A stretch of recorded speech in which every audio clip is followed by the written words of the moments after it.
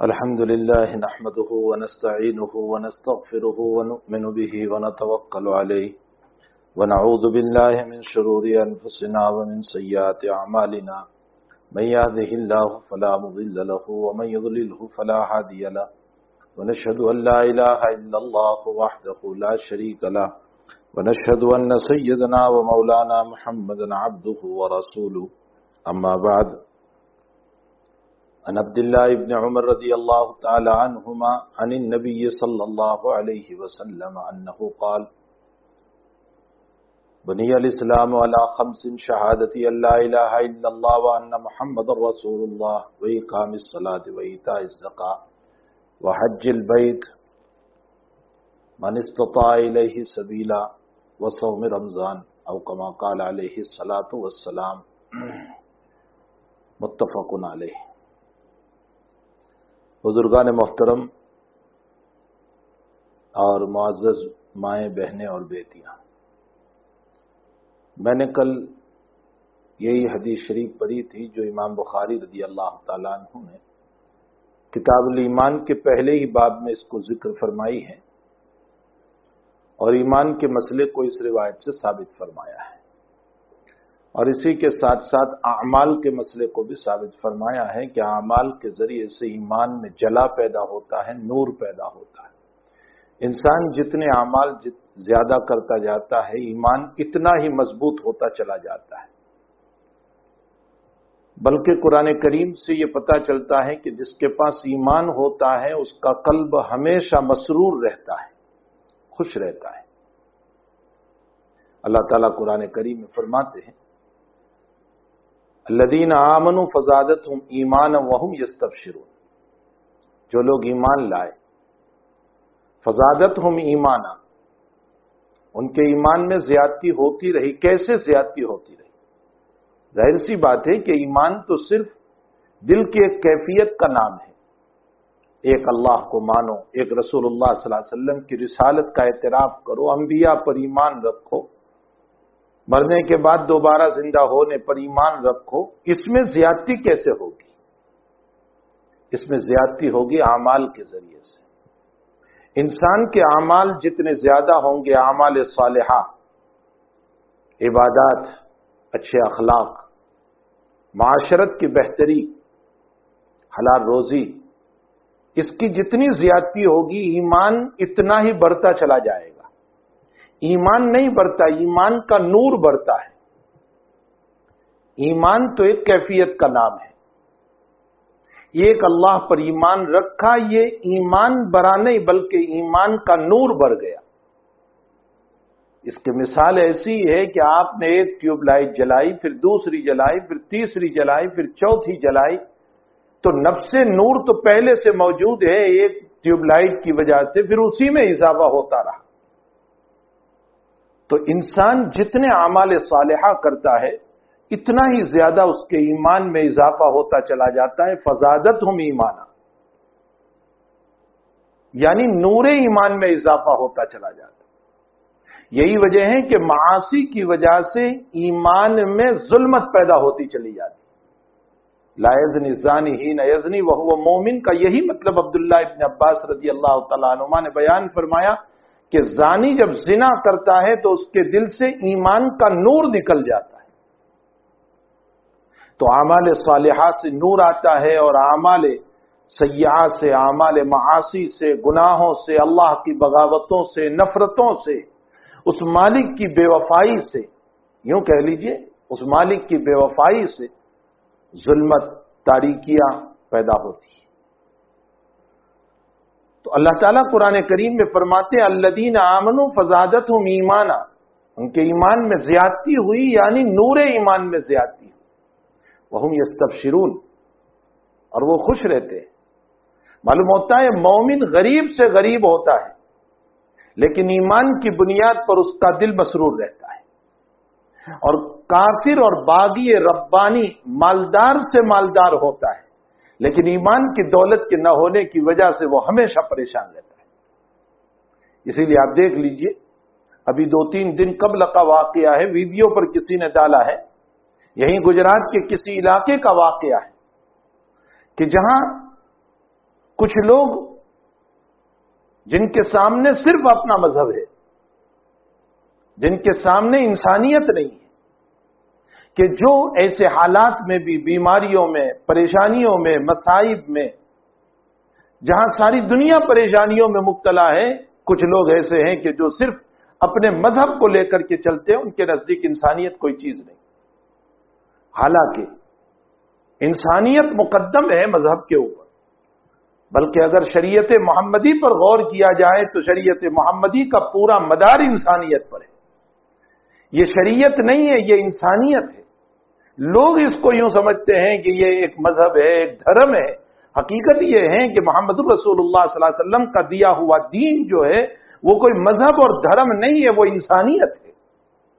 آپ نے انسانیت کا درس دیا ہے۔ کیا ایک اس اللہ کو، اس پالنہار کو، اس مالک کو ماننا انسانیت نہیں ہے؟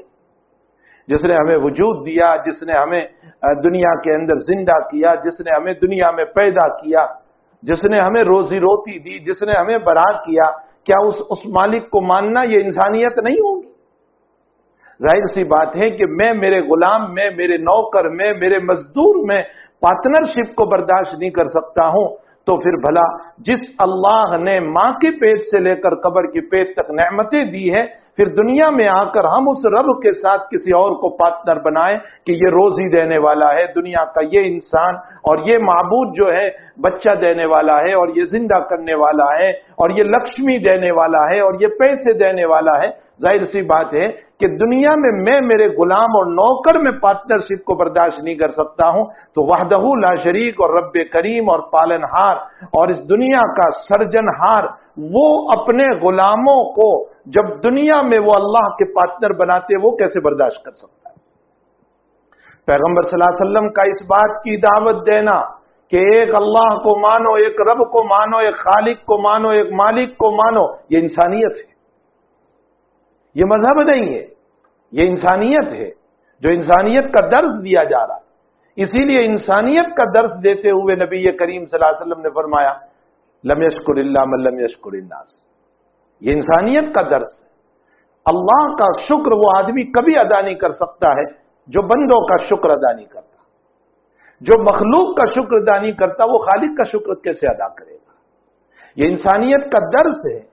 کہ جو اپنے لیے پسند کرو، وہ اپنے بھائی کے لیے پسند کرو۔ یہ انسانیت کا درس لوگ کہتے ہیں یہ مذہب محمدی ہے، یہ دھرم ہے۔ یہ دھرم اور مذہب نہیں ہے، یہ انسانیت ہے۔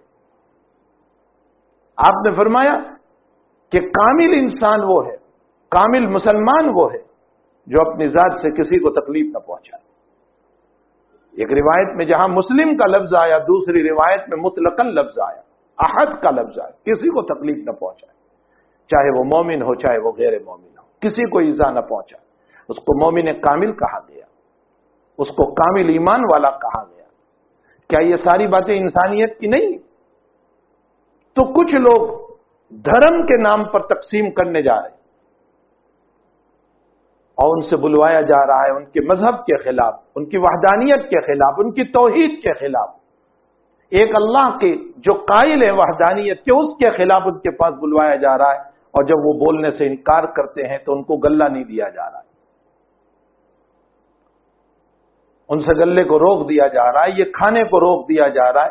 آپ انداز لگائیں کہ جو انسان انسانیت کے درد سے ہٹ جاتا ہے، انسانیت کے دروازے سے ہٹ جاتا ہے، وہ ایسے ہی کام کیا کرتا ہے۔ ورنہ حقیقت یہ ہے کہ مصائب میں مذہب نہیں دیکھا جاتا، وہاں انسانیت دیکھی جاتی ہے۔ تو خیر، میں یہ کہہ رہا ہوں کہ ان کے دل مسرور ہے اس گلے کے نہ ملنے پر بھی۔ جو وہ یہ بیان دے رہے ہیں کہ ہمارے پاس وہ کلمہ بلوایا جا رہا ہے کہ جس کلمے کو ہم اپنی توحید کے خلاف سمجھ رہے ہیں، ہم اپنے مذہب کے خلاف سمجھ رہے ہیں، ہم اپنے ایمان کے خلاف سمجھ رہے ہیں، ہم انسانیت کے درد کے خلاف سمجھ رہے ہیں، ہم محمد الرسول اللہ صلی اللہ علیہ وسلم کی تعلیمات کے خلاف سمجھ رہے ہیں۔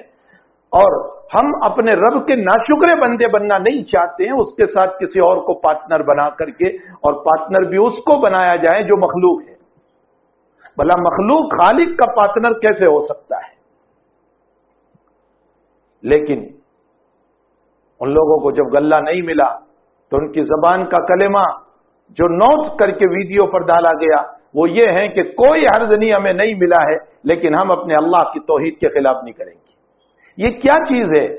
یہ وہی ہے جو قرآن کریم نے کہا فضادت ہم ایمانا وہ ہم یستب ان کو گلہ ملنے پر اس لفظ کے بولنے سے اتنی خوشی نہیں ہوتی جو گلہ چھوڑ کر اپنے رب کی وحدانیت پر خوشی ہوتی۔ وہ ہم یستب یہ قرآن کریم کہہ رہا ہے الدین آمن فضادت ہوں ایمانا وہ یستب تو مومن جو ہے وہ غریب سے غریب ہوگا۔ ظاہر سی بات ہے کہ جب ان کو غلہ دینے آئے، ان کی غربت ہوگی، ان کے پاس اس وقت ان حالات میں کھانا نہیں ہوگا، لیکن اس کے باوجود ان کا دل اور ان کی روح اللہ کی وحدانیت کے ساتھ خوش ہے۔ وہ یستب شرون یہی قرآن کریم نے ہمیں بتایا کہ مومن غریب تو ہو سکتا ہے، لیکن ایمانی دولت کی وجہ سے وہ مسرور ہوتا ہے۔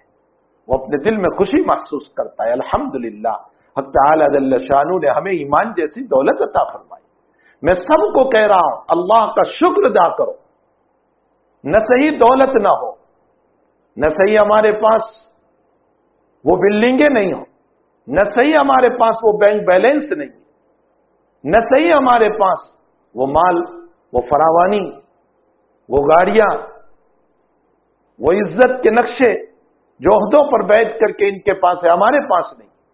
لیکن ایمان جیسی دولت ہمیں عطا فرمائی ہے۔ وہ کتنی بڑی دولت ہے۔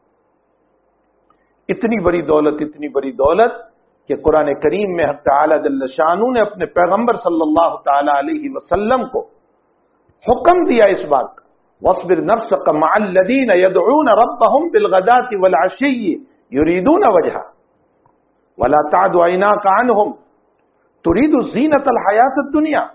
ولا تطع من اغفلنا قلبه عن ذکرنا واتبع هواه وكان امره فرطا. کچھ اہل مکہ جو مالدار تھے، جو عہدے والے تھے، جو پیسے والے تھے، لیکن ایمان نہیں تھا. وہ نبی کریم صلی اللہ علیہ وسلم سے کہنے لگے کہ محمد، ہم تیرے پاس آنا چاہتے ہیں، تیری مجلس میں بیٹھنا چاہتے ہیں، تیری بات کو سننا چاہتے ہیں، لیکن ہماری شرط یہ ہے کہ یہ جتنے غربا ہے یہ بلال یہ سہیب، یہ جتنے غربا ہے تیرے پاس، یہ غلام قسم کے، یہ گتیا قسم کے، جن کے پاس پورا لباس بھی نہیں تھا۔ اب تاریخ تو پڑے جن کے پاس پورا لباس بھی نہیں تھا۔ یہ سہیب عہد میں جب شہید ہوئے ہیں، تو صرف ایک لنگی بندی ہوئی تھی اور اسی میں دفن کیا گیا اور وہ لنگی اتنی چھوٹی تھی کہ سر ڈھانپتے تھے تو پاؤں کھل جاتے تھے اور پاؤں ڈھانپتے تھے تو سر کھل جاتا تھا۔ نبی علیہ السلام نے فرمایا سر محترم ہے دھانپ دو اس کو اور پاؤں پہ گھاس ڈال دو۔ یہ سہیب۔ اور اور مصعب ابن عمیر کا یہ واقعہ ہے۔ حضرت مصعب ابن عمیر کا جو میں نے نقل کیا کہ وہ ہوت میں پوری چادر بھی ان کو نصیب نہیں حضرت سہیب رضی اللہ تعالیٰ عنہ غلام ہے، بلال غلام ہے، بدن پر پورا کپڑا بھی نہیں تھا۔ حضرت جابر رضی اللہ تعالیٰ عنہ کے پاس کچھ لوگ آئے، بخاری شریف میں فرمایا نبی اکرم ساسم کی نماز ہمیں بتاؤ کہ حضرت کیسے پڑھتے تھے؟ حضرت نے وضو فرمایا جابر نے۔ اور صرف لنگی میں نماز پڑھنے کھڑے ہو گئے۔ حالانکہ کرتا وہاں لٹک رہا تھا۔ نماز دو رکعت نماز پر آئی، فرمایا ہا قدا سنات رسول اللہ صلاح نماز نبی کی ایسی ہوا کر تو وہ جو آئے تھے، انہوں نے کہا کہ حضرت یہ کرتا یہی تھا، پھر آپ نے بلا کرتے کی نماز پڑھی۔ حضرت نے فرمایا، تم جیسے احمق کو بتانے کے لیے کہ دور نبی میں ہمارے پاس دو کپڑے نہیں ہوتے تھے۔ ایک کپڑے پر ہماری زندگی گزری، ایک کپڑے پر، صرف لنگی پر۔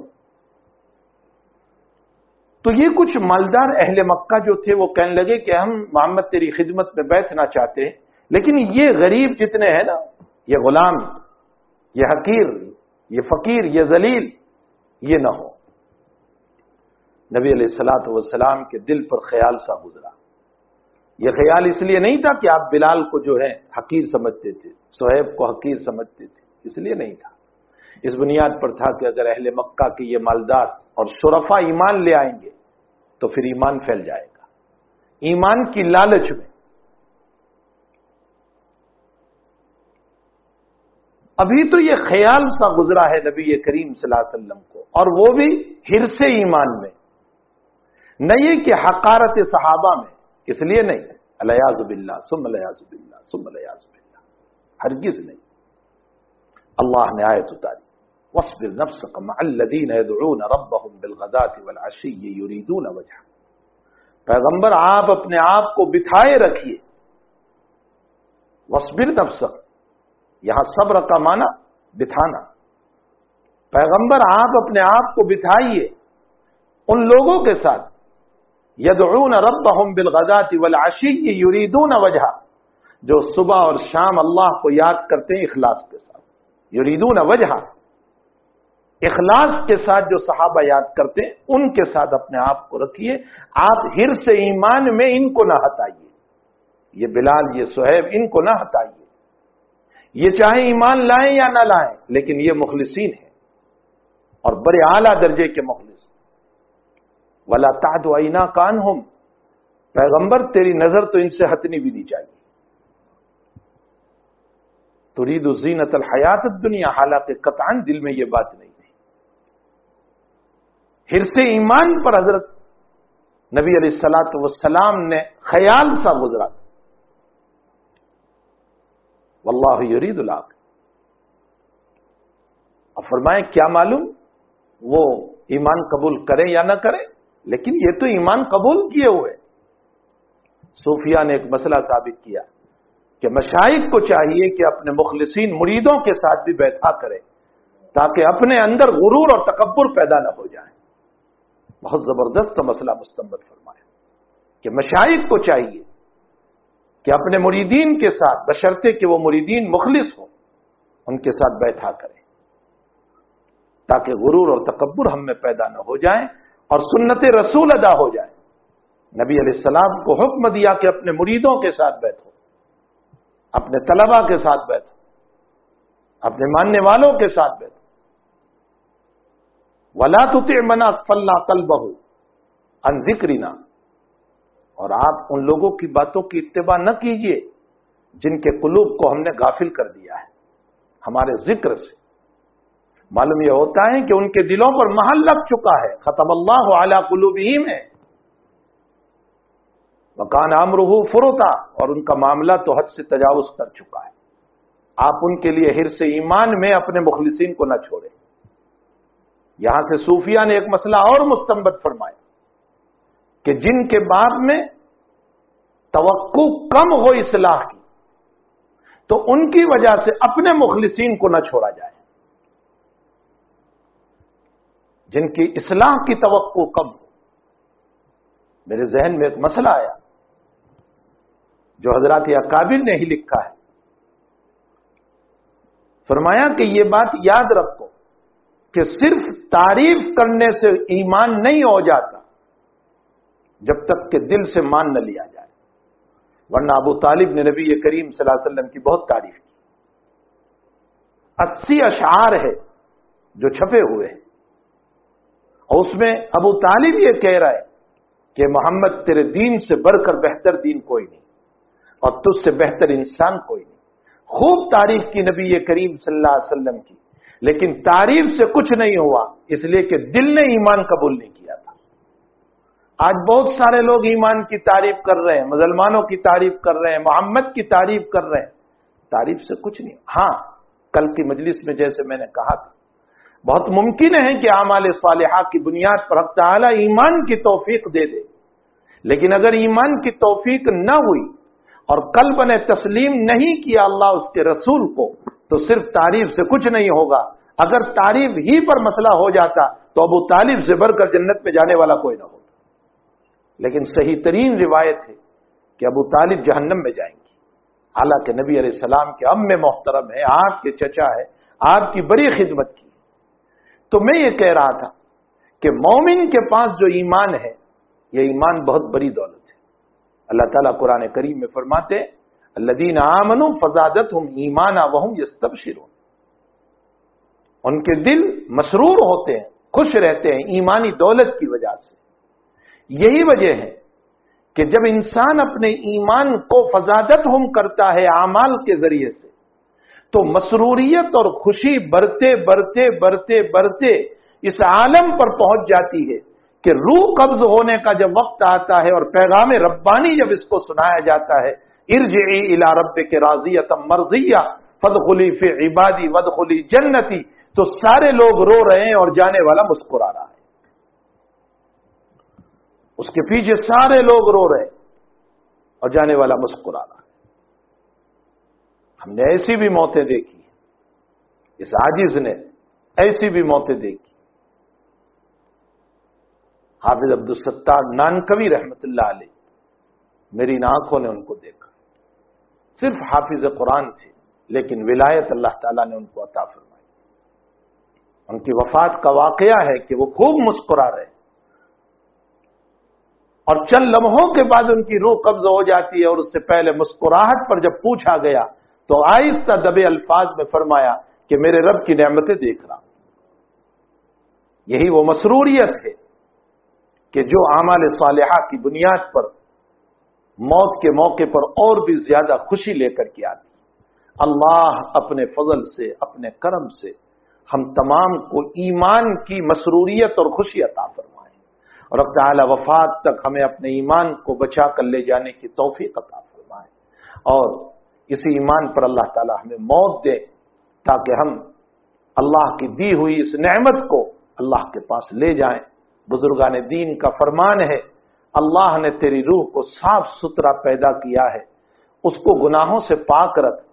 ورنہ یہ روح انتہائی شرمندہ ہوتی ہے، جب موت کا وقت آتا ہے کہ صاف ستھری تھی اور گندی ہو کر اللہ کے دربار میں جا رہی گندگی کا عالم اس کا ہوتا ہے اور روح جو ہے ہماری وہ انتہائی زیادہ شرمندہ ہوتی ہے۔ اس لیے ہمیں اپنی روح کو پاک، صاف رکھنے کی، بنانے کی ضرورت ہے اور روح میں پاکی اور صافی آتی ہے اہل اللہ کی صحبت سے۔ بزرگوں کی صحبت سے، اللہ والوں کی صحبت سے، نیکوں کی صحبت سے۔ روح میں پاکی اس کی پیدا ہوتی ہے۔ اور میرے بھائی اور میری بہنوں، تجربہ کر کے آپ دیکھ لو۔ میں نہیں کہہ رہا ہوں تجربہ کر کے آپ دیکھ لو۔ چالیس دن تک اپنے نفس سے کہا کر لو کہ تو برائی نہیں کرے گا۔ دیکھو، روح کو ان دنوں میں جو سرور اور جو خوشی حاصل ہوتی ہے خدا پاک کی قسم، دنیا کی بریانی میں وہ خوشی نہیں ملتی۔ دنیا کے دو ہزار کے لباس میں وہ خوشی نہیں ملے گی۔ دنیا کی اے سی میں وہ خوشی نہیں ملے گی، جو ترک معاشی میں خوشی ملے گی۔ ترک گناہ میں خوشی ملے۔ یہ مومن کی شان ہے کہ معاشی کو چھوڑنے پر اس کی روح کو بہت خوشی ہوتی۔ یہ مومن اسی لیے نبی کریم صلی اللہ علیہ وسلم نے فرمایا، بخاری شریف کی روایت کہ مومن سے گناہ ہو جاتا ہے تو جیسے پہاڑ گر گیا۔ اور باغی انسان جب گناہ کرتا ہے تو جیسے مکھی بیٹھی اور اڑا دی۔ یعنی وہ اس کو کچھ سمجھتا ہی نہیں۔ تو آپ تجربہ کر کے دیکھ لو چند دنوں کے لیے۔ اگر شراب کے عادی ہے، شراب چھوڑ کر دیکھ لو۔ جوا کے عادی ہے، جوا چھوڑ کر دیکھ لو۔ سود کے عادی ہے، سود چھوڑ کر دیکھ لو۔ بد نظری کے عادی ہے، اپنی نگاہوں کی حفاظت کر کے دیکھو گندے خیالات کے عادی ہے، اپنے قلب کو صاف رکھ کر دیکھو اور گناہوں کے عادی ہے گیبت کے، برائیوں کے، گالی گلوز کے، فوش باتوں کے اگر عادی ہے۔ اپنے نفس سے سودا کرو۔ آج کرو کہ چالیس دن تک تو اس کام کو چھوڑ دے۔ اس وحدہ لا شریک لہو کی ذات کی قسم کھا کر میں کہتا ہوں، جو خوشی روح کو پیدا ہوگی۔ اس لیے کہ مومن کی شان ہے۔ اور اس میں کوئی شک نہیں کہ جب معاشی اور گناہ کا صدور ہم سے ہوتا ہے، نفس خوش ہوتا ہے تھوڑی دیر کے لیے، لیکن روح مغموم ہوتی ہے۔ ہماری روح ہم کو دانتتی ہے کیا کر رہا ہے تو؟ ہاں روح ہم کو دانتتی ہے۔ اندر سے بے چینی جو ہوتی ہے نا، یہ روح کی دانت دپت ہے ہم کو۔ میں نے کسی نہ دیکھنے والی چیز کو یا لڑکی کو دیکھا، ٹھیک ہے، میری آنکھوں کی شہوت پوری ہو گئی۔ کچھ دیر کے لیے لذت ہو گئی، لیکن اندر سے میری روح کہہ رہی ہے، کیا کر رہا ہے تو؟ یہ بے چینی جو مومن کے اوپر پیدا ہو رہی ہے، یہ وہی روح کی بے چینی۔ تو یہی وہ ایمان ہے جو اللہ تعالیٰ نے مجھے اور آپ کو عطا فرمایا، جس کو نبی کریم صلی اللہ تعالی علیہ وسلم نے اس روایت کے اندر سب سے پہلے اس کو ذکر فرمایا۔ حضور پاک صلی اللہ علیہ وسلم کا ارشاد گرامی ہے، لا الہ الا اللہ، بنی علیہ السلام والا خمس شہادتی، اللہ الہ الا اللہ وان محمد رسول اللہ یہ ایمان ہے جس کی دولت اللہ تعالیٰ نے مجھے اور آپ کو عطا فرمائی ہے۔ اس کے بعد چار اعمال کو ذکر کیا گیا، نماز، زکات، حج اور روزہ۔ بخاری کی روایت پر، اور نماز، زکات، روزہ اور حج مسلم کی روایت۔ بہرحال ترتیب کا تھوڑا سا فرق ہے، باقی مسائل ایک ہی اللہ کے حبیب پاک ساسم نے ایمان کے بعد چار اعمال کو ذکر فرمایا، جس کو عبادت کہا جاتا ہے۔ ان چاروں کا تعلق عبادت سے۔ اقام صلاح و اتا زکا و سوم رمضان و حج البیت۔ یہ چار۔ انسان اصلا پیدا ہوا ہے چار چیزوں سے۔ انسان کا مادہ اور انسان کا گھارا جو اللہ نے بنایا ہے، وہ چار چیزوں سے بنایا نمبر ایک اب تعالی نے آگ، مٹی، پانی اور ہوا۔ ان چاروں سے ہمارا وجود ہوا ہے۔ ہمارے بدن میں آگ موجود ہے۔ اگر آپ دیکھیں، تھوڑی دیر کے لیے کھجاہٹ تو آپ کو گرم لگے گا۔ یہ دلیل ہے کہ میرے اور آپ کے بدن میں آگ موجود ہے اور یقینی بات ہے کہ حرارت کا ہونا ضروری ہے، بغیر حرارت کے انسان ٹھنڈا ہو جاتا ہے، قبر تک پہنچ جاتا ہے۔ مٹی تو سراسر مٹی ہی ہے، ہم مٹی سے پیدا ہوئے، منا خلق ناکم وفیہ عید حکم و منہا نخرید حکم تارتن اخرا ہمیں اسی میں جانا ہے۔ اور آپ قبر کھول کر کے دیکھ لیں تو میرا وہ لہلہاتا جسم اور تنتناتا جسم اور دوڑتا اور کودتا ہوا، اچھلتا ہوا جسم چند دنوں کے بعد دیکھ لو تو کیسے مٹی ہو رہا ہے۔ مٹی ہمارا پورا بدن ہے۔ نمبر تین، اب تعالیٰ نے ہمیں پانی سے پیدا کیا۔ چوبیس گھنٹے پانی پر ہماری زندگی ہے۔ پانی کے بغیر تو ہم جی نہیں سکتے۔ اور نمبر چار، ہوا ہے۔ ہوا کے بغیر، آکسیجن کے بغیر ہم جی نہیں سکتے ہیں۔ تو یہ چار چیزوں سے اللہ تعالیٰ نے ہمیں وجود عطا فرمایا۔ دنیا میں ہر چیز اپنی ایک خاصیت رکھتی ہے۔ یہ مسئلہ مسلم ہے۔ کہ جو بھی چیز دنیا کی اتالو اس کی ایک خاصیت ہے فون ہے، اس کی اپنی ایک خاصیت ہے، ایک پتھر ہے، اس کی ایک خاصیت ہے۔ ایک گلاب کا پھول ہے، اس کی ایک خاصیت ہے۔ ایک چمیلی کا پھول ہے، اس کی ایک خاصیت ہے۔ ایک بدبودار چیز ہے، اس کی ایک خاصیت ہے۔ بقول حکیم الاسلام کاری طیب صاحب نبر اللہ مرکز اگر آپ یوں اشارہ کرو تو اس کی ایک خاصیت ہے کہ گویا میں غصے میں آپ کو مار رہا ہوں۔ اور اگر یوں اشارہ کرو تو گویا میں آپ کے سامنے جھک رہا ہوں۔ یہ ہاتھ کے اشاروں کا مطلب ہوا کرتا ہے۔ تو ہر چیز کی ایک خاصیت ہے۔ ظاہر سی بات ہے کہ ہماری آگ کی بھی ایک خاصیت ہے، ہماری مٹی کی بھی ایک خاصیت ہے، ہمارے پانی کی بھی ایک خاصیت ہے اور ہماری ہوا کی بھی ایک خاصیت ہے۔ ان چاروں کی خاصیت ہے اپنی جگہ۔ آگ کی خاصیت غرور اور تکبر ہے۔ آگ کی حقیقت یہ ہے جو اس میں کبر بھرا ہوا اور کبر کا عالم یہ ہے کہ آپ موم بتی سلگا کر الٹی کرو تو بھی اس کی شوائیں اوپر ہی جاتی وہ نیچے نہیں جاتی، وہ اوپر ہی جاتی گویا کہ وہ زبان حال یہ کہہ رہے ہیں کہ تو الٹی کر دے تو بھی میں اوپر ہی جاؤں۔ یہی وہ چیز ہے جو شیطان نے اور ابلیس نے دربار رب میں پیش کی۔ خلق تنی من نار و خلق من تین، تو نے مجھ کو آگ سے پیدا کیا۔ اور یہ آدم مٹی سے پیدا ہوا، آگ اوپر کو اٹھتی ہے، مٹی اوپر سے نیچے کو آتی ہے، اوپر ڈالو تو بھی نیچے آتی ہے۔ تو ظاہر سی بات ہے کہ جو نیچے والی چیز ہے، اس کو اوپر والی چیز سجدہ کیسے کر سکتے؟ یہ اس کا کبر تھا۔ یہ اس کا تکبر تھا۔ تکبر ازازی را خار کر، بزندہ نے لانت گرفتار کر۔ شخصادی رحمت اللہ علیہ فرماتے تکبر ازازیل را خار کر۔ تکبر نے شیطان کو ذلیل کر دیا۔ جو متکبر ہوتا ہے وہ ذلیل ہوتا ہے۔ بزندہ نے لانت گرفتار کر۔ اور لانت کے قید خانے میں گرفتار ہو گیا۔ یعنی ساری دنیا اس پر لانت کر رہی ہے۔ ساری کائنات کا مالک اس پر لانت کر رہا ہے۔ سارے لوگ اس پر لانت کر رہے ہیں۔ بزندہ نے لانت گرفتار کر۔ تکبر کہتے ہیں کس کو؟ مسلم شریف کتاب الایمان میں ہے۔ ایک صحابی رضی اللہ تعالیٰ عنہ فرماتے ہیں کہ اللہ کے حبیب پاک صلی اللہ علیہ وسلم، مجھے اچھے جوتے پہننا پسند ہے، کیا یہ بھی تکبر ہے؟ مجھے اچھے کپڑے پسند ہیں، کیا یہ بھی تکبر ہے؟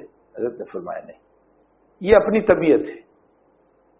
بعض انسان کی طبیعت ہوا کرتی ہے، نظافت کے ساتھ رہنا، ستھرائی کے ساتھ رہنا، اچھی چیز کا استعمال کرنا۔ فرمایا، یہ تکبر نہیں، ان اللہ جمیل و یحب الجمال۔ اللہ جمیل ہے جمال کو پسند کرتا ہے، اچھائی کو پسند کرتا ہے۔ تو پھر تکبر کہتے ہیں کس کو؟ نبی علیہ السلاۃ وسلام تعریف فرماتے بطر الحق و غمت الناس۔ حق بات کے آ جانے کے باوجود انکار کر دینا۔ میں دیکھ رہا ہوں کہ اس کی بات صحیح ہے اور میری بات غلط ہے، لیکن صرف اپنی شان کی وجہ سے بات کو میں رد کر رہا ہوں۔ یہ تکبر ہے۔ وغمت الناس اور لوگوں کی تحقیر، حقیر سمجھنا، دوسروں کو معمولی سمجھنا، ذلیل سمجھنا۔ اگر میں کپڑا استعمال کر رہا ہوں، دوسروں کو حقیر سمجھ کر کے تو یہ تکبر ہے۔ اگر میں شاندار جوتا پہن رہا ہوں، دوسروں کی تحقیر کر کے تو تکبر ہے۔ باقی میری طبیعت کے اعتبار سے کہ مجھے اچھا کپڑا پسند ہے، مجھے اچھا جوتا پسند ہے، کسی کی تحقیر نہیں ہے۔ مد نظر کوئی دوسرا نہیں ہے، یہ تکبر نہیں ہے۔ یہ تربی السلاط وسلام نے فرمایا، ان اللہ جمیل یحب الجمال. دوسروں کی تحقیر کرنا حکارت کی نظر سے دیکھنا اور حق کے آ جانے کے باوجود انکار کرنا، اس کو کہا جاتا ہے تکبر۔ یہ بدترین صفت ہے۔ مسلم شریف کی روایت ہے کہ الکبریا اور ادائی، تکبر میری چادر ہے۔ یعنی یہ اسی اللہ کو زیب دیتا ہے، تکبر۔ وہ انسان کیا تکبر کرے؟ جس کا درد سر ہو جائے تو پریشان ہو جاتا ہے، بخار آ جائے تو پریشان ہو جاتا ہے۔ ارے، یہ کورونا کی بیماری چلی ہے تو انسان پریشان ہو گئے وہ کیا تکبر کرے؟ حضرت شیخ نور اللہ مرکدہ فرماتے جو گندی نالی سے پیدا ہوا اور قبر میں جانے کے بعد گندے کیروں کے حوالے ہوگا اور ابھی حیاتی میں منو گوبل لے کر کے گندگی کے ساتھ چل رہا ہے، چمڑی سے اللہ نے ہم کو چھپا رکھا ہے۔ ورنہ اندر گندگی، جس کی ابتدا بھی گندگی، نہایا بھی گندگی وسط اور بیچ بھی گندگی، جو گندگی سے بھرا ہوا ہو، وہ کیا تکبر کر سکتا ہے؟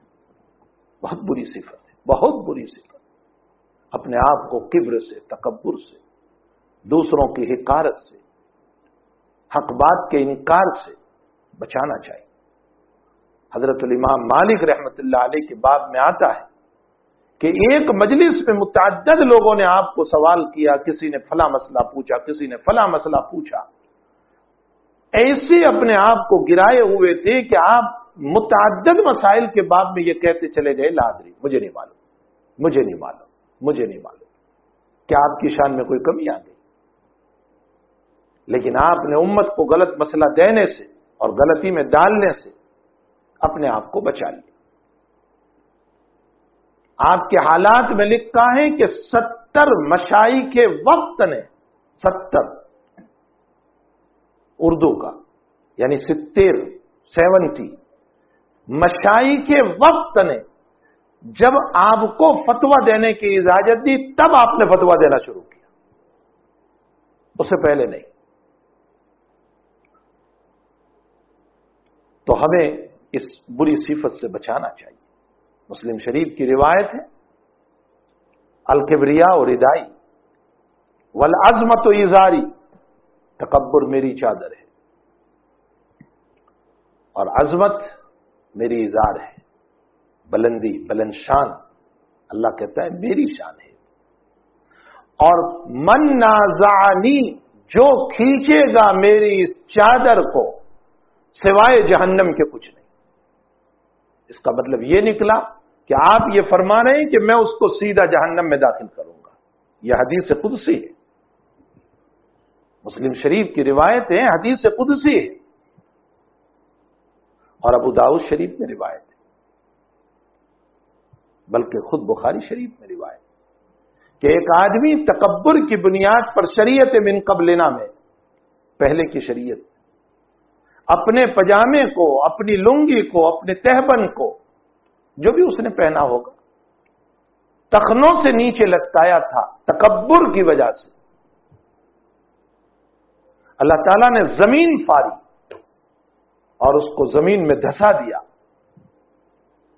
اور اللہ کے حبیب فرماتے ہیں، صلی اللہ علیہ وسلم، کہ قیامت تک دستا رہے گا۔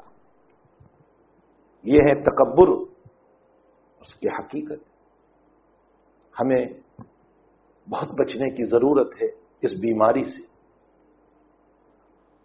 تو جب مجھ میں آگ موجود ہے تو میرے بدن میں آگ کی صفت بھی موجود ہے تکبر۔ تکبر کو ختم نہیں کرنا ہے۔ بعض مرتبہ ضرورت ہے۔ طواف کرتے ہوئے رمل کے اندر موندے ہلانا، ذرا شان سے چلنا ضرورت ہے۔ لیکن تکبر کی تعریف جو میں نے بتائی، جو نبی علیہ السلاۃ وسلام کی ذریعے حضرت نے بتائی، بطر الحق و غمت الناس۔ حق بات کا انکار اور لوگوں کی حکارت، یہ نہیں ہونا چاہیے۔ تو اب اس تکبر کو دبانے کے لیے، اس باطنی بیماری اور مرض کو دبانے کے لیے اللہ کے حبیب پاک صلی اللہ علیہ وسلم فرماتے ہیں یہ قابل صلاح نماز اچھی طرح پڑھو۔ نماز اچھی طرح پڑھو۔ سلو کمارا آئی تمونی ہو سلی تم ایسے نماز پڑھو جیسے تم نے مجھ کو دیکھا۔ نبی کا رکو کیسا، نبی کا سستا کیسا، نبی کا قیام کیسا۔ جیسے نبی نے نماز پڑھی، آپ نے کیسے ہاتھ اٹھایا؟ آپ نے ہمیں نماز میں کیا پڑھنے کو کہا؟ اگر ڈھنگ سے نماز پڑھی ہے تو انشاءاللہ اللہ تعالی یہ نماز ہمارے اندر آگ سے پیدا ہونے والے تکبر کو دبا دے گی۔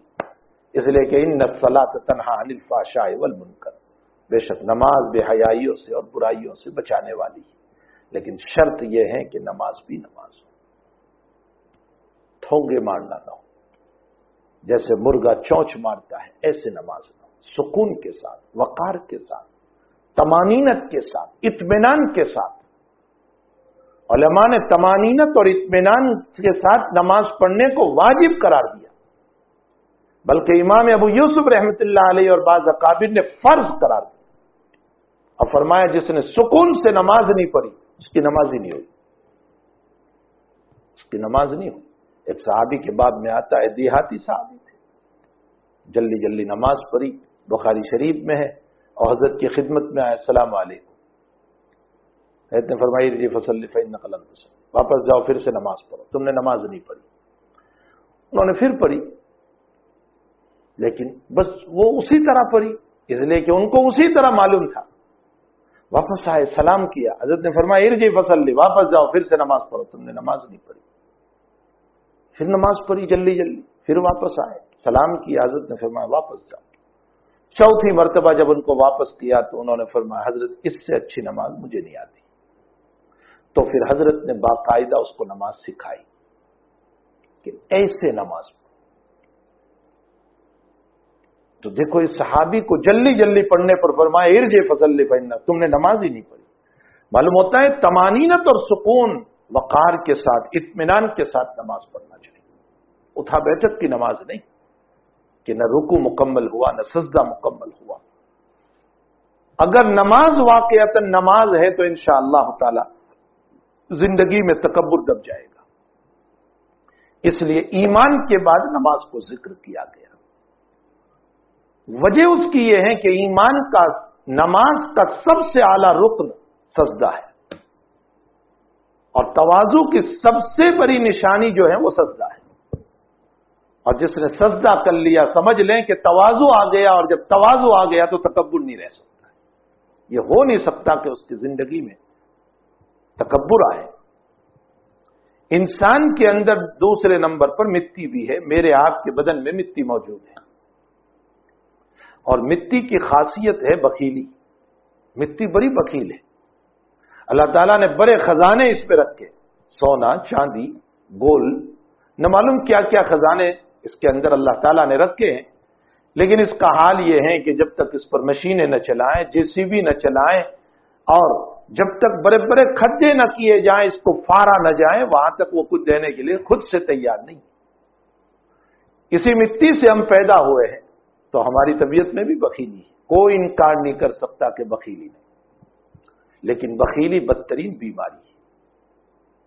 بخل وہ بیماری ہے جو انسان کو زکات سے روکتی ہے، جو صدقہ سے روکتی ہے، جو عطیہ سے روکتی ہے، جو لوگوں کا قرض ادا کرنے سے روکتی ہے، جو بیوی بچوں کے حقوق ادا کرنے سے روکتی جو اخلاق حسنا سے روکتی ہاں بخل کا اثر جو ہے نا، اخلاق پر بھی پڑتا ہے۔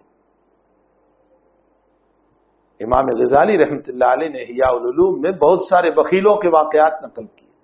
حکایات انل بخلا بہت سارے۔ اس میں ایک واقعہ نقل کیا ہے کہ ایک بخیل صاحب کی کسی نے دعوت کی اور بڑا شاندار کھانا بنایا۔ چونکہ وہ بخل کی وجہ سے اپنے گھر پہ اچھے کھانے نہیں کھاتا تھا۔ بخل تھا اس کا۔ اسی لیے اپنی ذات پر بھی خرچ نہیں کرتا تھا۔ پرائے کے دسترخوان پر خوب کھایا اور اتنا کھایا کہ سانس پھولنے لگا۔ خطرہ ہوا کہ جان نہ نکل جائے۔ حکیم اور ڈاکٹر کو بلایا گیا۔ تو ڈاکٹر نے کہا، آسان مسئلہ ہے، کوئی حرض نہیں۔ آپ کہہ کر دیجیے اگر آپ کو کہہ ہو گئی تو اس صورت میں یہ کھانا نکل جائے گا، آپ کا سانس لینا آسان ہو جائے گا۔ تو موت کے مسئلے سے آپ بچ جاؤ گے۔ اس نے کہا، یہ نہیں ہو سکتا ہے جان دے دوں گا، لیکن کہہ نہیں کروں گا، اس لیے کہ اس سے اچھا کھانا مجھے کبھی نہیں ملا۔ یہ خود امام غزالی رحمت اللہ علیہ نے ہیا میں یہ واقعہ نقل کیا۔ ایک صاحب کے بخل کا واقعہ امام شاہ، امام غزالی نے نقل فرمایا کہ اپنے دسترخوان پر بیٹھا ہوا تھا اور ایک بیچارہ غریب آ گیا، لیکن وہ عالم تھا۔ اس کے دسترخوان پر انجیر تھی۔ جیسے ہی اس نے اس غریب کو آتے ہوئے دیکھا تو کپڑا ڈال دیا۔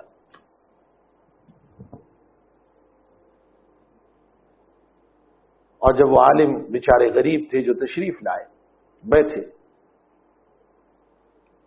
تو یہ صاحب ان سے کہنے لگے، کچھ قرآن کی باتیں سناؤ۔ تو اس نے دیکھ لیا تھا وہاں دور سے کہ اس کے دسترخوان پر ہے کیا۔ تو اس غریب نے پڑھنا شروع کیا وہ زیتون وطور سینین وحاد البلد امین تو کہا اس صاحب دسترخوان نے کہ یہ سورت تو وہ تین سے ابتدا ہوتی ہے، آپ نے تین کو چھوڑ دیا اور زیتون سے کہا تین اس کے نیچے۔ یہ جو دسترخوان ہے آپ کا اور جو آپ نے اوپر چادر ڈال دی ہے، اس کے نیچے تین موجود ہے، اس لیے اس کو بولنے کی ضرورت نہیں۔ بہرحال امام غزالی نے اس طرح بخل کے واقعات نقل کیے ہیں جو اپنی ذات پر بھی خرچ نہیں کرتے۔ میں صرف اسے یہ بتانا چاہتا ہوں کہ بخل کا اثر اپنی طبیعت پر بھی پڑتا ہے، اخلاق حسنہ پر بھی پڑتا ہے۔ جابر ابن عبداللہ رضی اللہ تعالیٰ نے فرماتے ہیں کہ حضور پاک شاسم نے مجھے یوں کہا تھا کہ جابر، اگر مال غنیمت کہیں سے آیا تو میں تجھے اتنا اتنا اتنا دوں گا یعنی تین مرتبہ۔ بس اللہ کے حبیب پاک ساسم دنیا سے تشریف لے گئے۔ صدیق اکبر نے اعلان فرمایا کہ نبی نے اگر کسی کو وعدہ کیا ہے یا نبی کے پاس کسی کا قرضہ باقی ہے تو وہ لے جائے یہاں سے مسئلہ معلوم ہوا کہ اگر مرنے والے کے وہ رسا یہ اعلان کریں تو اس کا جواز ہے۔ تو جابر ابن عبداللہ نے صدیق اکبر سے کہا کہ مجھے وعدہ کیا تھا کہ اگر کہیں سے مال غنیمت آ گیا تو ہم تمہیں اتنا اتنا دیں گے۔ تو آپ مجھے دیجیے۔ مانگا نہیں دیا، پھر مانگا نہیں دیا، پھر مانگا نہیں دیا۔ جابر ابن عبداللہ نے فرمایا، بخاری شریف کی روایت ہے، یا تو وعدہ پورا کیجیے وہ اللہ فتب خل ورنہ بخیل بن جائے صدیق اکبر کو یہ جملہ اتنا برا لگا، فرمایا، تم مجھے بخیل بننے کو کہہ رہے ہو بلا بخیل سے بدتر بیماری کون سی ہو سکتی؟ آؤ، نبی نے کیا وعدہ کیا تھا؟ فرمایا، مجھے یوں کہا تھا کہ اگر مال غنیمت کہیں سے آیا تو تین مرتبہ کا ایک چلو بھرو ان پیسوں میں سے، درم کا، ایک بھرا کا گنو کتنے کا پانچ سو۔ تو کا تین مرتبہ پانچ سو پانچ سو لے لو۔ مجھے یہ بتانا ہے کہ ابو بکر صدیق یہ فرماتے ہیں کہ بخیلی سے بڑھ کر باطنی بیماری کوئی نہیں ہو سکتی۔ یہ بدترین بیماری۔ یہ ہماری مٹی کی خاصیت ہے۔ اب اگر ہمیں اس بیماری کو دبانا ہے، بخیلی کی بیماری تو اللہ اللہ کے حبیب نے فرمایا وہی تا زکا زکات ادا کرو۔ جب زکات حساب کر کے ادا کریں گے تو انشاءاللہ اللہ تعالی بخیلی دبتی چلی جائے گی۔ دل سخاوت پہ آئے گا۔ دل کھل جائے گا دینے کے لیے۔ پھر اپنے گھر کی چیز بھی ضرورت کی بنیاد پر اٹھا کر دینے میں ہمیں تنگی محسوس نہیں ہوگی۔ پھر کسی غریب کو دیکھ کر ہمارا دل بے چین ہوگا۔ ہماری آنکھوں میں آنسو آ جائیں گے۔ پھر ہمارا دل پریشان ہوگا کہ میں اس کی ضرورت کو کیسے پورا کروں۔ حضرت عمر کے باب میں آتا ہے کہ بعض مواقع پر آپ رات رات بھر شدید سردی کے باوجود کھلے سوتے رہے اور پوچھنے پر فرمایا کہ جب رعایا کو میں نہیں دے سکتا ہوں تو میں اور کر کیسے سوؤں گا؟ آپ انداز لگائیں کہ حضرت عمر رضی اللہ تعالیٰ کا ہمارے اکابر کی زندگی بھی ایسی ہی گزری کہ ہمارے اکابر اگر خود نہیں دے سکتے تھے تو پھر اپنے آپ کو اس سے دور بھی رکھتے تھے کہ ہم استعمال نہیں کریں گے اس کو۔ کہنے کا مطلب یہ ہے کہ بخیلی اتنی بدترین بیماری ہے کہ اس سے اخلاق پر بھی اثر پڑتا ہے، عبادت پر بھی اثر پڑتا ہے۔ اگر اس کو دبانا ہے تو حساب کر کے زکات دیا کرو۔ میں انشاءاللہ زکات پر تفصیلی گفتگو کروں گا۔ مجھے تو اس وقت اس حدیث شریف کے اندر جو چار عبادت بیان کی گئی، اس کا فلسفہ بیان کرنا کہ نبی علیہ السلاۃ والسلام نے ایمان اور چار عبادتوں کو کیوں بیان کیا؟ اس کا فلسفہ کیا ہے؟ اللہ کے نبی کن باتوں کی طرف اشارہ کرنا چاہتے ہمارے بدن میں پانی بھی ہے۔ اور پانی کی طبیعت ہے لالچ، ہرس۔ جب سیلاب چلتا ہے، فلڈ چلتا ہے، تو وہ بہتر سے بہتر چیزوں کو بھی بہا دیتا ہے، لے جاتا ہے۔ کبھی فریز بہ رہا ہے، کبھی مکان بہ رہا ہے، کبھی گلہ اور انسان بہ رہا ہے، پانی کے اندر لالچ۔ میرے اور آپ کے بدن میں جب پانی موجود ہے تو یقیناً ہرس بھی موجود ہے۔ ہم بڑے لالچی ہماری لالچ اور ہرس کا حال یہ ہوتا ہے کہ ہم دوسروں کی چیزوں پر بھی للچائی نظر سے دیکھا کرتے حالانکہ اس بدترین مرض سے ہمیں اپنے آپ کو بچانا چاہیے۔ نبی علیہ السلاۃ والسلام نے فرمایا لوکان علی ابن آدم، وادیان بن بھی اگر آدم کی اولاد کو اللہ تعالیٰ دو وادی بھر کر سونا دے، وادی وادی کے اندر پانی بہتا ہے۔ یعنی اللہ بہنے والا خزانہ دے، بہنے والا۔ لب تقا سال تو یہ تیسرے کی تمنا کرے گا۔ دو دکان ہے تو تیسری، تین ہے تو چوتھی، چار ہے تو پانچویں۔ تمنا کرتا ہی چلا جائے۔ لائم لو جو ابن آدم علت فرمائے ابن آدم کا پیٹ نہیں بھرے گا مگر قبر کی مٹی سے۔ یہ ہماری لالچ کو بیان کیا، ہماری ہرس کو بیان کیا۔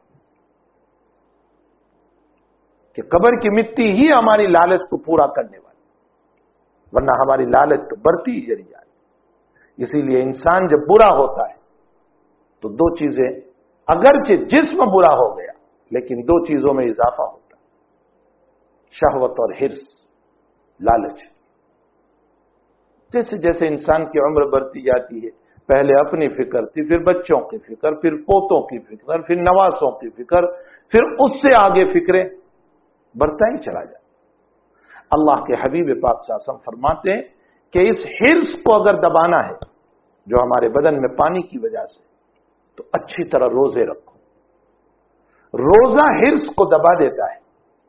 آپ دیکھو دسترخوان پر بیٹھے ہیں، پانچ منٹ افطاری کو باقی ہے۔ لیکن آپ کا ہاتھ پانی کی طرف نہیں جا رہا ہے، شربت کی طرف نہیں جا رہا ہے اور جوس کی طرف نہیں جا رہا ہے، کیوں نہیں جا رہا ہے؟ اس لیے نہیں جا رہا ہے کہ اللہ نے منع کیا، آپ کے ہرس کو اللہ نے روک دیا۔ اگر روزہ صحیح ہو، جیسے اللہ نے بتایا، جیسے نبی نے بتایا، جو میں پہلے دو دن میں کہہ چکا ہوں کہ روزہ کیسا ہونا چاہیے۔ اگر ان شرائط کے ساتھ روزہ رکھا ہے تو انشاءاللہ اللہ تعالی ہماری ہرس اور ہماری طبیعت میں جو لالچ ہے، جو بدترین بیماری، وہ دبتی چلی جائے گی۔ اور ہمارے بدن میں ہوا بھی ہے۔ ہم ہوا سے پیدا ہوئے۔ ہوا ہر وقت چلتی رہتی ہے۔ ہوا نہ ہو تو زندگی گزارنا مشکل۔ اور ہوا کی خاصیت ہے انانیت، شان، برائی اوجب اپنی جگہ پر دوسروں کو پسند نہ کرنا۔ عجب اور تکبر میں فرق ہے۔ تکبر دوسروں کی حکارت اور اپنے آپ کو بڑا سمجھنا۔ اور عجب کا معنی ہوتا ہے اپنی شان اور برائی کو بیان کرنا۔ جس کو انانیت، میں کچھ ہوں۔ میں کچھ ہوں۔ یہ ہم سب کی طبیعت میں ہے، اس لیے کہ جب ہوا ہے تو اس کی صفت بھی ہے۔ اسی لیے آپ دیکھیں کہ ایک بال ہے گین ہے، اس میں ہوا بھری ہوئی ہے۔ اب بالکل ہوا سے وہ ٹائٹ ہے اور اور ہوا بھرنے جا رہے تو وہ گیند پھٹے گا اور اندر سے ہوا باہر آئے گی۔ اب اس ہوا سے پوچھو کہ تو کیوں باہر آ گئی؟ تو وہ کہے گی، میرے ہوتے ہوئے دوسری ہوا کیسے آ گئی؟ یہ ہے انانیت۔ ہوا کی شان ہے انانیت۔ میری جگہ پر کوئی اور نہ آئے۔ بس میں ہی میں۔ میرے اور آپ کے بدن میں جب ہوا موجود ہے تو ظاہر سی بات ہے کہ ہوا کی خاصیت بھی موجود ہے، انانیت۔ میں کچھ ہوں۔ بہت مشہور ہے جملہ آئی ایم سم تھنگ میں کچھ ہوں۔ اگر اس شان کو مٹانا ہے تو اللہ کے نبی فرماتے وہ حج گل بیت منستفا علیہ سبیلا حج کرو۔ اس طرح پر جیسے نبی کریم صلی اللہ علیہ وسلم نے حج کیا۔ جیسے اللہ کے نبی کا حج تھا ویسے حج کرو۔ تو حج کی وجہ سے ساری شان ختم۔ یہاں سے اللہ ہم کو اٹھا کے لے گیا حرم۔ لیکن وہاں بھی پہچاننے والے مل گئے، بیگ اٹھانے والے مل گئے، جوتے اٹھانے والے مل گئے، عزت کرنے والے مل گئے۔ تو اللہ نے فرمایا، ابھی تیری شان ہے۔ فرمایا، یہ کپڑے اتار دے اور دو چادر پہن لیتا کہ تجھے کوئی پہچانے۔ ایک امیر اور غریب سب برابر۔ بادشاہ اور رعایا سب برابر۔ کوئی فرق اب کوئی پہچانتا نہیں، طواف میں کوئی مار بھی رہا ہے، کوئی دھکے دے رہا ہے، کوئی کیا کر رہا ہے، کوئی کیا کر رہا ہے۔ ساری شان ختم ہو جاتی۔ اگر حج کے بعد شان ختم کر کے آئے ہیں تو سمجھ لو کہ حج کی حقیقت ملی۔ اور اگر وہی شان لے کر کے آئے کہ میں بھی کچھ ہوں، تو اس صورت میں حقیقت یہ ہے کہ حج کی حقیقت حاصل نہ یہ ہے ان چار عبادتوں کا فلسفہ کہ ہمارے اندر آگ ہے، جو تکبر کی دلیل ہے۔ اگر اس کو دبانا ہے تو ہمیں ڈھنگ سے نماز پڑھنا ہوگا، جیسے نبی نے بتایا۔ ہمارے اندر مٹی ہے، جس کی خاصیت بخیلی ہے۔ اگر اس کو دبانا ہے تو ہمیں صحیح طور پر زکات ادا کرنا ہوگا۔ ہمارے اندر پانی ہے، جس کی صفت اور شان اور خاصیت یہ ہے کہ ہرس اور لالچ ہے ہمارے بدن میں۔ اگر اس کو دبانا ہے تو شان رسالت اور نبی کے احکام کے مطابق روزے رکھنا ہوگا۔ اور ہمارے اندر انانیت، براپن اور شان کی بیماری ہے۔ اگر اس کو دبانا ہے تو پھر ڈھنگ سے حج کرنا ہوگا۔ یہ عبادت کا فلسفہ ہے۔ اس کے بنیاد پر نبی کریم صلی اللہ علیہ وسلم نے ان چار عبادتوں کو ذکر فرمایا۔ تو ایک تکبر کو دبانا ہوا۔ ایک بخل کو دبانا ہوا، ایک ہرس کو دبانا ہوا، اور ایک شان اور بڑے پن کو دبانا ہوا، اور دنیا کے سارے فتنوں کی بنیاد یہی چار چیزیں ہیں۔ یا تو دنیا میں فتنہ تکبر کی بنیاد پر ہو رہا ہے، یا تو بخیلی کی بنیاد پر ہو رہا ہے، یا تو ہرس و لالچ کی بنیاد پر ہو رہا ہے، یا شان کی بنیاد پر ہو رہا ہے۔ بس یہی چار چیزیں ہیں۔ ساری دنیا کے فتنوں پر آپ نظر دوڑا لو، چاہے وہ حکومت کا مسئلہ ہو، چاہے وہ چھوٹا مسئلہ ہو۔ سارے مسائل کی بنیاد یہ چار چیزیں ہیں۔ تو نبی نے ان چار عبادتوں کو ذکر کر کے اشارہ کیا کہ اگر تم چار عبادتوں کو کرو گے تو دنیا سے فتنہ ختم ہو جائے گا اور امن نصیب ہو جائے گا۔ چین اور سکون نصیب ہو جائے گا۔ معلوم ہوتا ہے کہ عبادتوں کا بڑا زبردست فلسفہ ہے۔ ہم تعالی دلشان ہوں ہمیں ڈھنگ سے عبادت کرنے کی توفیق عطا فرمائے، نماز کی، زکوٰۃ کی، حج کی اور روزے کی، تاکہ ہمارے اندر سے یہ برائیاں دور ہو اور جب برائیاں دور ہوگی تو دنیا میں امن قائم ہوگا۔ اللہ دل شان ہم تمام کو اس پر عمل کی توفیق عطا فرمائے۔ وصلی اللہ علیہ نبی الکریم۔ برحمتی یا رحم الراحمین۔ آج بھی کچھ اطلاع ملی ہے، بلکہ میسیج مجھے بھیجا گیا ہے کہ یو کے میں لندن میں جو مسجد ہے اختلین کی مسجد ماشاء اللہ وہ بھی دن کے اسی بیان کو ریکارڈ کر کے اپنی مسجد میں رکھ رہے ہیں اور ایک بڑا طبقہ اپنے گھروں میں بیٹھ کر کے سن رہا ہے۔ اللہ سب کو جزائے خیر عطا فرمائے کہ آپ نے مجھ جیسے نالائق اور عاجز کی بات کو سننا مناسب سمجھا۔ میں یہ سمجھتا ہوں کہ اب تعالیٰ آپ لوگوں کے عمل کی بدولت اللہ میری مغفرت کرے گا۔ ورنہ مجھے میرے اعمال پر اتنا اعتماد نہیں ہے جتنا کہ آپ لوگوں کی توجہات پر مجھے اعتماد ہے کہ کسی ایک کو بھی اللہ جل شان نے عمل کی توفیق عطا کر دی تو ممکن ہے کہ اس آج اس کا بیڑا پار ہو جائے گا۔ اللہ مجھے بھی اور آپ سب کو بھی ان چار باطنی بیماریوں سے اللہ ہم سب کی حفاظت فرمائے۔ وصلی اللہ علیہ نبی الکریم الحمد للہ رب العالمین للمتقین والصلاة والسلام على سید الانبیاء والمرسلین وعلى آلہ وصحبہ اجمعین اللهم ربنا آتنا في الدنيا حسنة وفي الآخرة حسنة وقنا عذاب النار. اللهم وفقنا لما تحب وترضى من القول والعمل وجنبنا الفواحش والمعاصي والخطايا والزلل اللهم ربنا ظلمنا أنفسنا وإن لم تغفر لنا وترحمنا لنكونن من الخاسرين. اللهم تقبل صيامنا وقيامنا، اللهم تقبل تلاوتنا ودعاءنا. اللهم ربنا لا تزغ قلوبنا بعد إذ هديتنا وهب لنا من لدنك رحمة إنك أنت الوهاب. اللهم نقي خطايانا كما ينقى الثوب الأبيض من الدنس. اللهم تجاوز عن أمة محمد صلى الله عليه وسلم. اللهم ارحم على أمة محمد صلى الله عليه وسلم. اللهم اغفر لامه محمد صلى الله عليه وسلم اللهم انا نسالك من خير ما سالك منه نبيك ورسولك محمد صلى الله عليه وسلم ونعوذ بك من شر ما استعاذ منه نبيك ورسولك محمد صلى الله عليه وسلم وصلى الله على النبي الكريم برحمتك يا رحمة.